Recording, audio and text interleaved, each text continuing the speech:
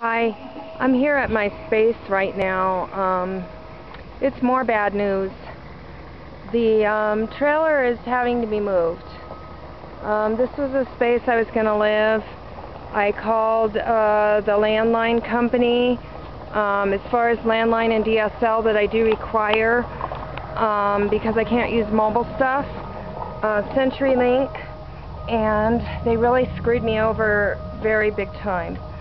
Um, I first told them to do a loop test on the line, which is where they actually have tech support test the line to make sure that the uh, line works.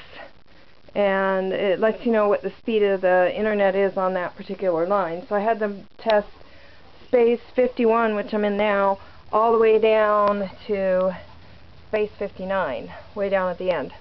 I had them test all nine spaces and they told me that they tested great and that there would be 12 megs of um, DSL here.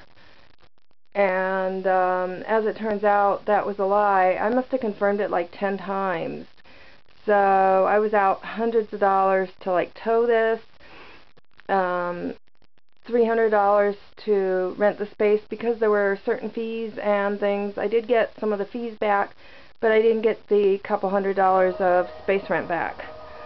Um, I'm having to move it now because up until the day that I, I sat here the day they were supposed to turn service on and waited for them and the technician didn't come.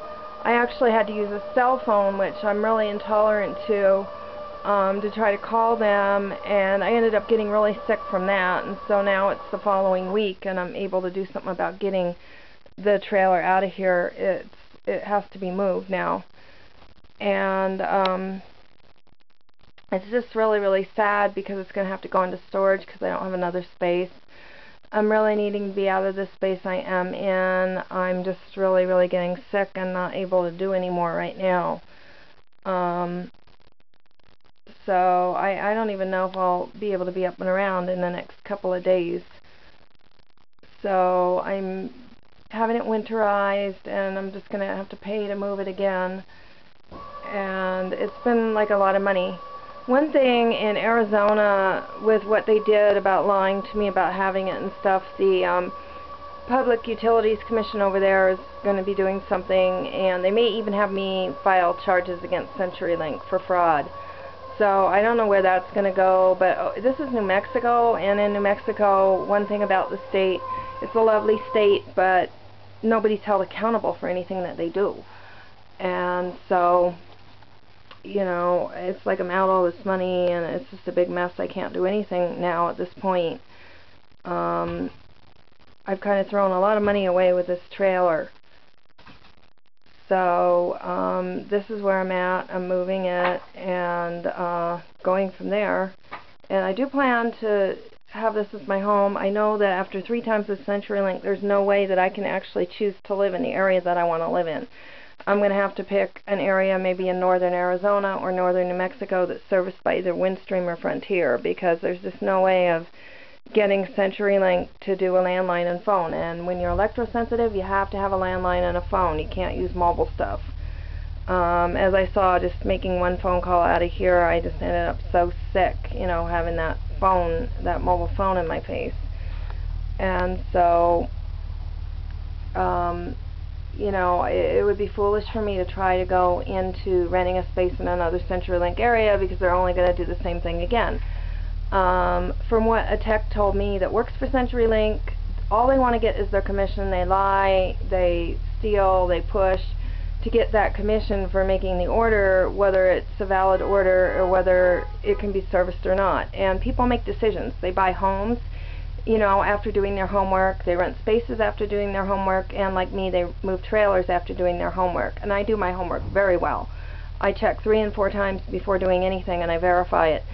So I even have a, like a written order in writing um, from CenturyLink but it's it's not enough. There's just no working with that company, no knowing between their lies and you know what's true and what's not. So it's like I can pretty much assume that if it's an area served by CenturyLink, I'm probably not going to get landline or DSL there, and I need to go to another company's area where I can get those things. So I'm looking for another another area. I want to stay in New Mexico or Arizona, preferably Arizona. but it's going to have to be somewhere that's serviced by Frontier. It can't be, you know, where, you know, I move in and I might get service or not. I mean, I think it's really horrible what these companies do. I don't think they should get away with it, and I'm going to do everything I can to, like, see that they're held accountable. Um, so that's where it is. I mean, that's the heater installed. It's it's all pretty exciting. I mean, I feel really good sitting here, and I can just, you know, imagine what it would be like living here.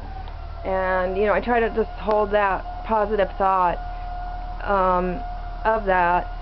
And um, this is the valve so I can empty my black water without um, having to go outside. So on my bad days when I can barely get out of bed, if that thing gets full, it can be emptied. So I've done a lot. I've come a long way, I guess, so far, making the trailer what I need it to be.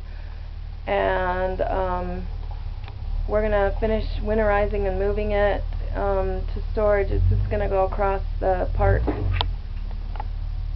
So I'll somebody move the trailer and I'm in it. So looks like I might be going for a ride. Um, if you like this, subscribe and have a great day.